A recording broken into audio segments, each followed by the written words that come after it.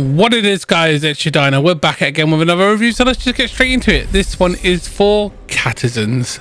Catizens is published by HeroCraft and developed by Bad Optic Games. It doesn't really state what's the PC minimum requirements because this game is in like early alpha. It, when it was given to me, it's very early alpha.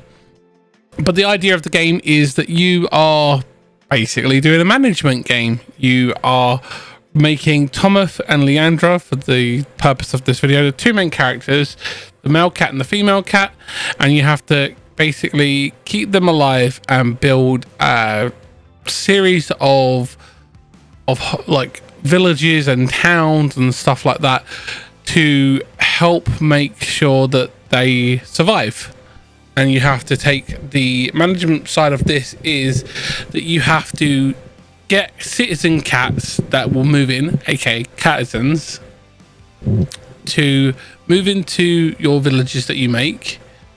And their their traits have to balance each other's out. So you don't want to put a character that likes to be a loner with a big ma massive metropolis you want to put them in a small town.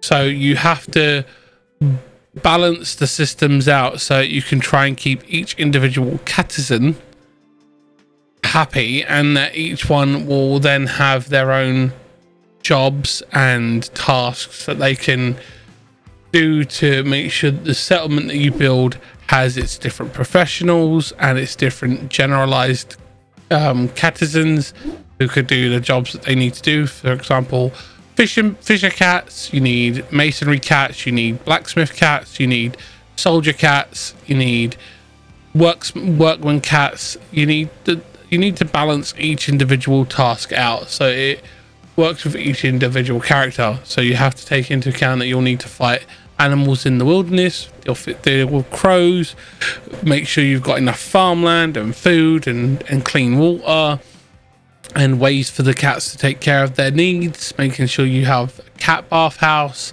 and all sorts of different things for the different individual characters that you will have living in your towns.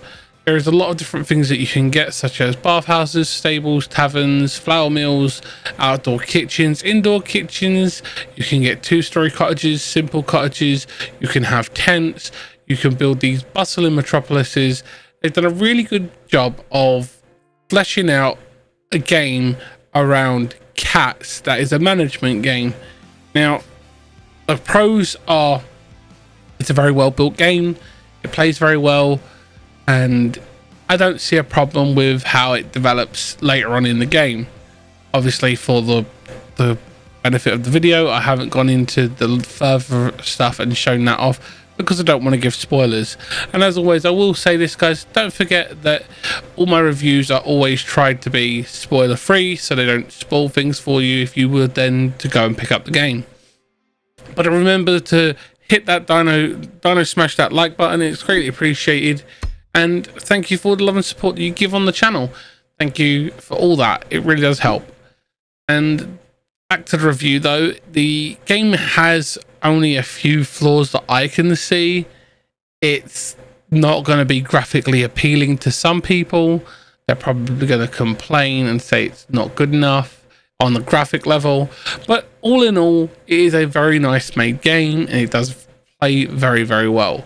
It's smooth, it's consistent, it does a really, really good job of trying to be a productivity based management game and the balancing act of keeping all the different characters alive and doing their jobs that's the key. So i think that they've done a very good job with the whole system and i feel that if you do want to pick the game up, you can hit the link down in the description if you want to check it out.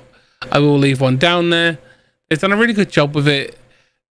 The people that I could see this game aimed towards are people like myself who love management games, people who like cats, or content creators who want to be able to have a chill game that they can get their community involved and name all the different catizens after say their mods, their subscribers or members if they're on YouTube, and then trickle down to followers or subscribers if they're on YouTube.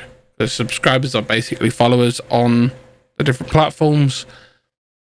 I just wanted to make that abundantly clear. It, it's all in all, the art style isn't great. It does look very rudimentary, but that's not a bad thing. There are games out there that have done the same style where it's very undetailed on the character models, but they've focused more on the gameplay. And I feel like that is what they've done here on this game.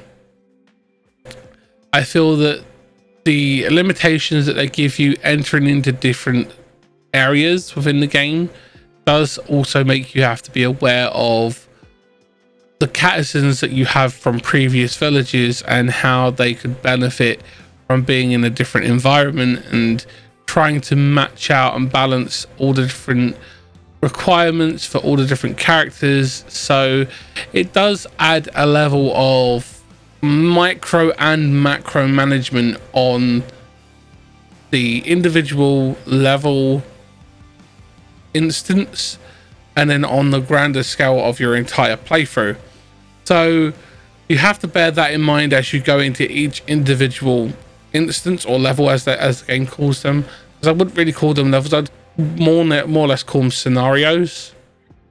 And all in all i feel that they've done a very good job with that. I feel that if you can balance everything that each individual instance or each individual level as it's known requires you're able to at least meet the management needs of your entire catizens and if you do it efficiently enough, you could get a bustling metropolis going in each individual area if you took the time to play through past what the basic goals of each individual level is.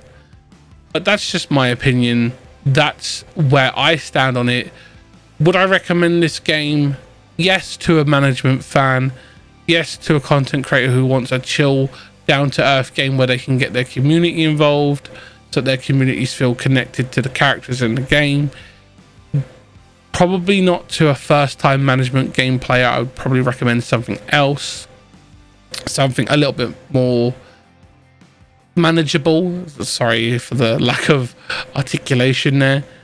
But I would probably recommend something would be more more guided to, to them as a new player that's just my opinion. Let me know what you think. If you've played the game before, sound off in the comments and let me know whether you liked the review, didn't disliked it, whether it influenced you and made you want to pick up the game. Thanks for watching, guys. Remember, all the links to everything is down in the description, and I will see you in the next one. Take care and have fun gaming. Bye.